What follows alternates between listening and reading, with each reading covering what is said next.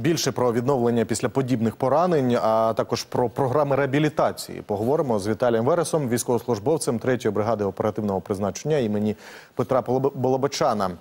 Пане Віталію, я вас вітаю в нашому ефірі. Слава Україні! Героям слава, доброго доброго дня.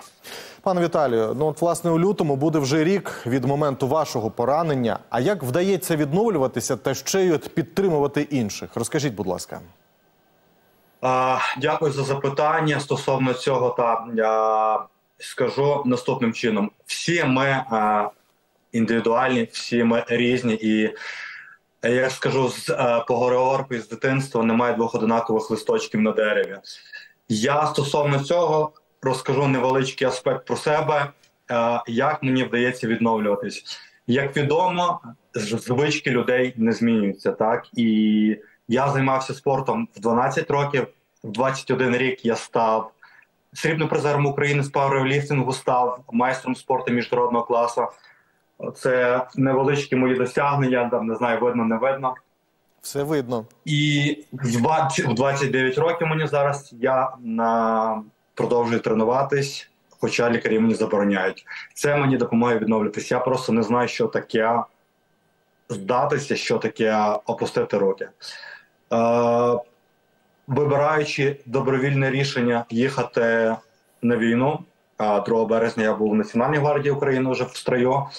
Я розумів одну річ, що цей білет, ця поїздка може бути лише в один бік.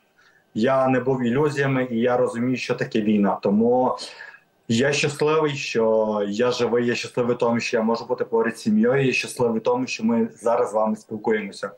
Тому я просто продовжую йти далі.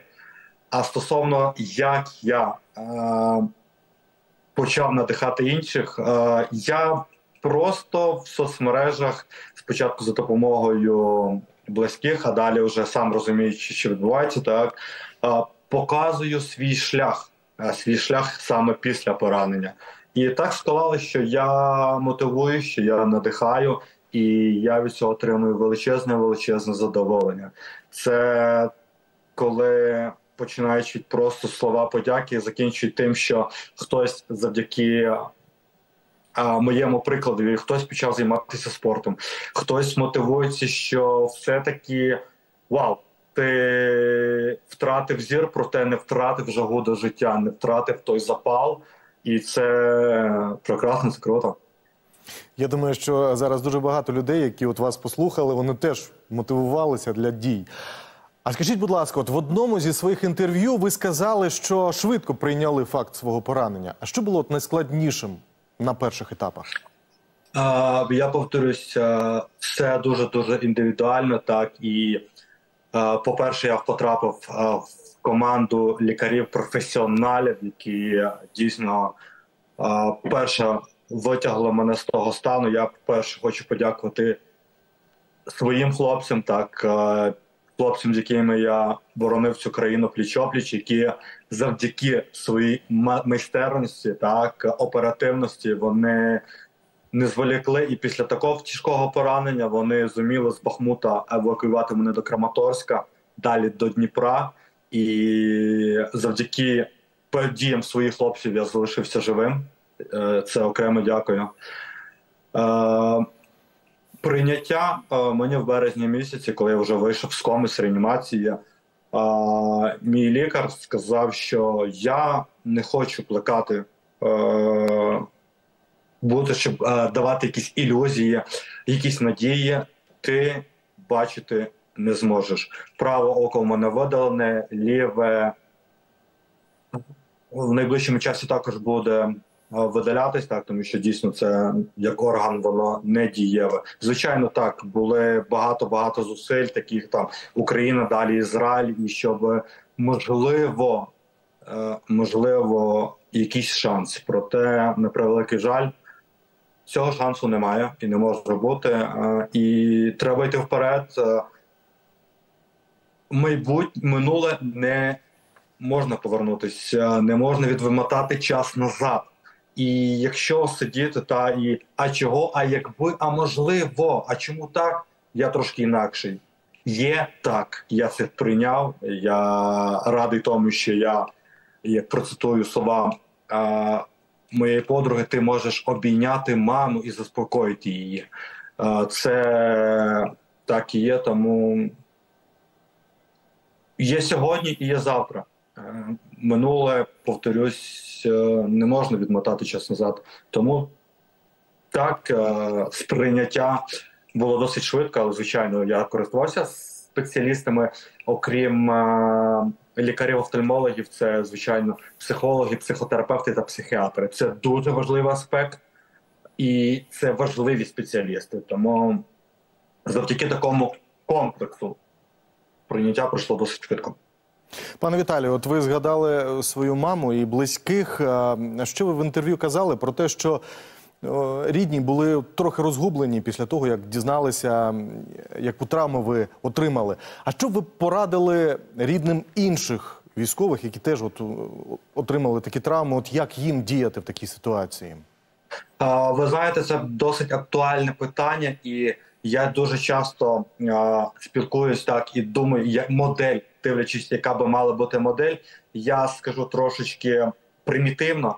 Над ліжком кожного пораненого військового мав би бути номер телефону, куди телефонувати батькам. Тобто, в плані я маю на увазі модель, соціальний працівник чи куратор, та тобто які наші дії. Так я скажу про своїх близьких. Вони, скажімо так, та була певна розгубленість, так і вони а, били усі. А, Усі канали, так, тобто це були мережа інтернет, так, соціальні мережі, і виставляли пости, що робити, ми не знаємо. І так, от сарафанним радіо а, склалося, що відповідали, відгукувалися люди, так, які вже стикалися з подібними проблемами, моментами, з подібними пораненнями, хто працює, хто реабілітолог, так, і отак, от з таким комплексом давалась потрошки-потрошки інформація. А тепер змоделюємо ситуацію, хоча на превеликий жаль і моделювати не треба, так що всі абсолютно кожен з нас різний, і як по віковій категорії, так і по, скажімо так, е, територіально, так і у когось батьків.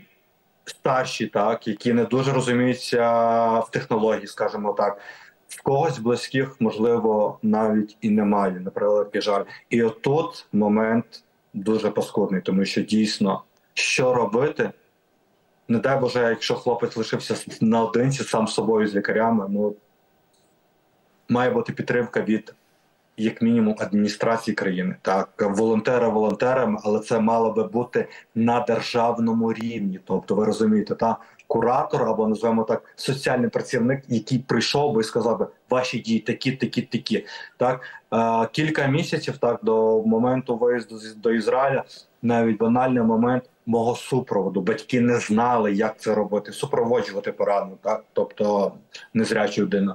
От е, такі моменти мали б бути в комплексі працювати уже від отримання поранень, тобто батькам, близьким, родичам. Це починаючи від психологічної підтримки, бо це дуже важливо. Я коли вийшов з реанімації, так я пам'ятаю, коли для мене було найтяжче те, що моя мама постійно плакала.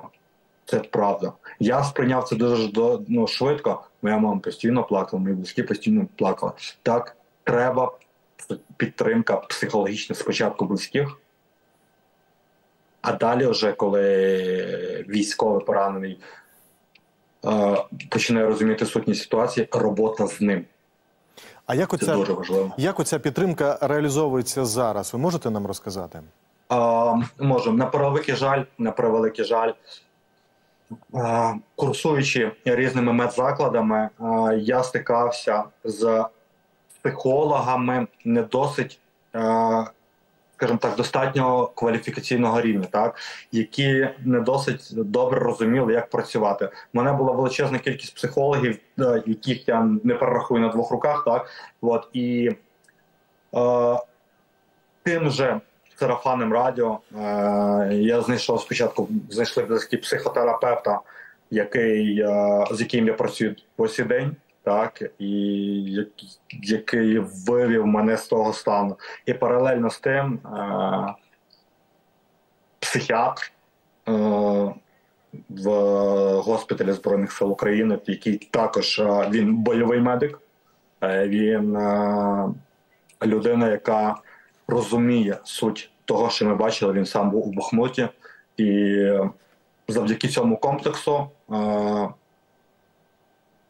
я дійшов до стану, яким є зараз, і все прекрасно. А щодо Проте от- я повторююся, робота з саме е, психолог, псих, психотерапевт при необхідності психіатр це важливий аспект як для бійця, так і для членів сімей. А щодо от самої реабілітації, тому що от в Україні реалізується декілька програм реабілітації для ветеранів та воїнів, які втратили зір. Як це було на вашому досвіді? Розкажіть, будь ласка. Е, ну, до речі, стосовно цього, е, я е, брав участь лише в одній реабілітації державному рівні. Це центр Поділля. Проте е, е, це Вінниця, проте вона реалізована е, за кошти ПРООН. І в другій е, реабілітації двохтижневій я був. Це громадська організація Олександра Терещенка. Е, інших реабілітацій я поки що не знаю. Я знаю, що в Пущі в Одесі є якась а, реабілітація. Мене тут запрошували, проте я був я перебуваю на лікуванні і не мав змоги туди приїхати. Все решта, на превеликий жаль, реабілітації в Україні немає. Як ви вважаєте, Стосовно для незрячих. Як вважаєте, як, Проєкти, можливо, якісь є. як Але- можна розвивати от власне це направлення для того, щоб допомагати нашим воїнам і ветеранам? Це виключно, якщо ми це мало би бути на державному рівні. Чомусь цього немає. На превеликий жаль, наша держава, я маю на увазі про адміністрацію країни, зайнята дуже важливими моментами, такими як боротьба з радянщиною, перейменування вулиць, е, ремонти будівель. е, Виділення коштів на о, зараз новий рік е, з міських бюджетів на встановлення ялинок, е, на ось до- доволі недавно, так там 26 мільйонів, якщо я не помиляюсь, на тихий вечір з Оленою Кравець. Це дуже важливо. Проте чомусь не можна цифрувати, наприклад, ті ж моменти в лікарні, так, коли я приїжджаю так е, на лікування, і ми мусимо все заповнити е, всі ці папірці, мільйон кабінетів, так, п'ятий, перший, перший, п'ятий, і це займає цілий день мінімум з умови того, що в мене є супровід. Цього чомусь ми не робимо.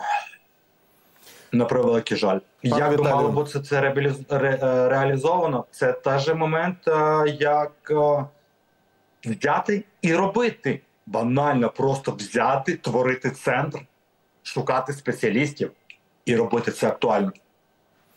Пане Віталію, я вам дуже вдячний за цю розмову. Я впевнений, що ваші слова зараз почули і все-таки дослухаються до них і будуть розроблені і програми для абе- реабілітації, і буде допомога ветеранам. Дякую вам дуже за цю розмову, за те, що Дякую. ви знайшли можливість доєднатися до нашого ефіру.